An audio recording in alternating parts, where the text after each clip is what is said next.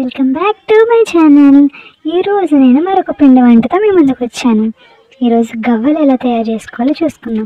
దానికి ఒక మెజర్మెంట్తో ఒక గ్లాస్ అయినా అవ్వచ్చు ఒక లాట్ అయినా అవ్వచ్చు ఒక దాంతో గోధుమ పిండి తీసుకోవాలి. సేమ్ అంతే క్వాంటిటీ మైదా పిండి కూడా తీసుకోవాలి.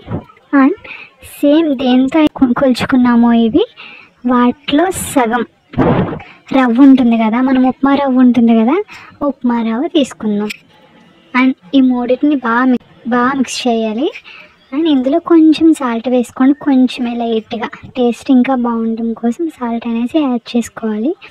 అండ్ బాగా మిక్స్ చేసుకోండి ఇదంతా అండ్ దీంట్లో మనం పాకం పెడతాము. సో పాకానికి కూడా సేమ్ క్వాంటిటీ బెల్లం తురుము తీసుకోవాలి. అది పక్కన పెట్టేసుకోండి. అది నెక్స్ట్ ఇప్పుడు ఏం వేస్తున్నా అంటే గీ గీ బాగా కరగబెట్టుకొని దాన్ని మనం దేంతో అయితే కొలుచుకున్నామో దాంతో సగం అనేది గీ తీసుకోవాలి. అండ్ వీటన్నిటిని బాగా మిక్స్ చేసుకోవాలి. అండ్ వేడిగా ఉంటుంది కాబట్టి గీ కొంచెం స్పూన్తో అలా గరిటతో అలా మిక్స్ చేసుకోండి ఫస్ట్. తర్వాత చల్లారిన తర్వాత కొంచెం హ్యాండ్ పెట్టి బాగా అవన్నీ ఉండలు లేకుండా బాగా పౌడర్లా చేసుకుని బాగా కలుపుకోవాలి. అండ్ చూడండి వీడియోలో ఎలా చూపిస్తున్నానో ఆ విధంగా కలుపుకోవాలి. అండ్ బాగా మిక్స్ చేసుకోవాలి అదంతా అన్నీ మిక్స్ అయ్యేవాళ్ళ. అండ్ దీంట్లో కొంచెం మనం సాల్ట్ వాటర్ ఇప్పుడు వాటర్ యాడ్ చేసుకుంటూ ఒక చపాతీ ముద్దలా తయారు చేసుకోవాలి.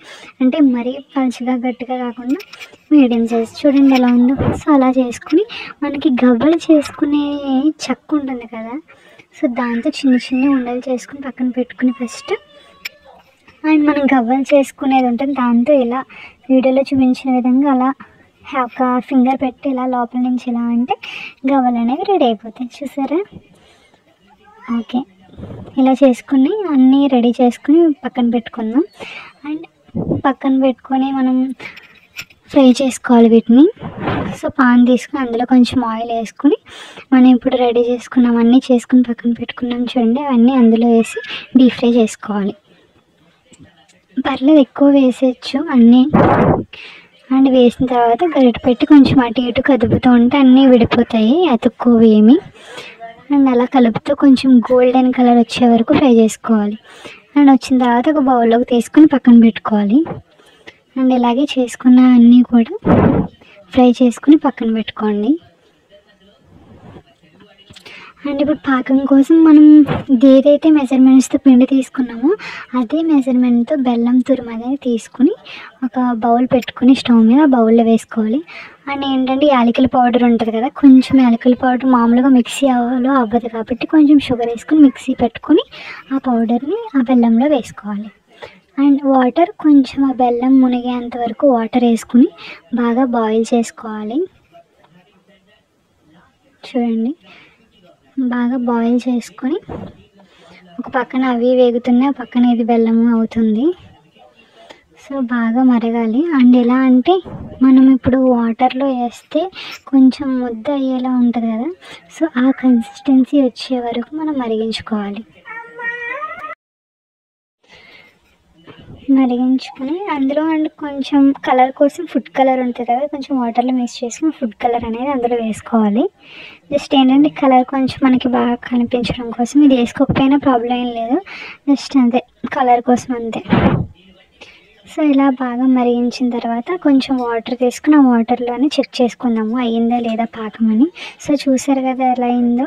సో ఈ కన్సిస్టెన్సీ వచ్చినప్పుడు స్టవ్ ఆఫ్ చేసుకుని మనం పక్కన పెట్టుకున్నాం చూడండి ఫ్రై చేసుకుని డీప్ ఫ్రై చేసుకుని గవ్వలు ఆ గవ్వల్లో ఈ పాకం అంతా వేసేసుకోవాలి. సో వేసుకున్న తర్వాత బాగా ఒక స్పూన్ తీసుకుని గరిట తీసుకుని బాగా మిక్స్ చేసుకోవాలి. ఎందుకంటే అన్నిటికీ పట్టాలి కాబట్టి. సో లేదంటే అలానే ఉంచేసారంటే గట్టిగా అయిపోతాయి. సో మనం వేసిన పాకం వేసిన వెంటనే కలుపుకోవాలి. అస్సలు లేట్ చేయొద్దు. అండ్ వేడిగా ఉంటుంది కాబట్టి మనం గరిటె తీసుకుని బాగా మిక్స్ చేసి కలుపుకోవాలి. అండ్ చూడండి ఇక్కడ పొడి పొడి లేకుండా అన్నీ ఆ పాకంలో కలిసేలాగా బాగా కలుపుకోవాలి. చూడండి. ఓకే ఇలా కలుపుకుంటే మనకి గవ్వలు అనేవి రెడీ అయిపోతాయి. సో చూసారు కదా ఇవి కొంచెం చల్లని తర్వాత బాక్స్లో స్టోర్ చేసుకోవాలి. అండ్ మనం బాగా మిక్స్ చేసుకోవాలి. ఎందుకంటే అవి ఏం ఏ ఒక్కటి అలా ఉండిపోయినా పాకం అనేది పీల్చుకోదు సో అన్నీ బాగా మిక్స్ చేసుకోవాలి. అందుకే కొంచెం ఇక్కడ టైం పడుతుంది ఎక్కువ. సో కలుపుకుంటూ ఉండాలి. అన్- ఇక్కడ పొడి అనేది కనిపించకుండా అన్నీ పాకంలో మునిగేటట్టుగా బాగా కలుపుకుంటూ ఉండాలి. సో కలిపిన తర్వాత కొంచెం ఆరిన తర్వాత మనం స్టోర్ చేసుకోవాలి. సో ఇలాగే ఎక్కువసేపు అనేది కలుపుకోవాలి. అండ్ మన గవ్వలని రెడీ అయిపోయాయి. థ్యాంక్ యూ ఫ్రెండ్స్ మై ఛానల్ని సబ్స్క్రైబ్ చేసుకోండి. Thank you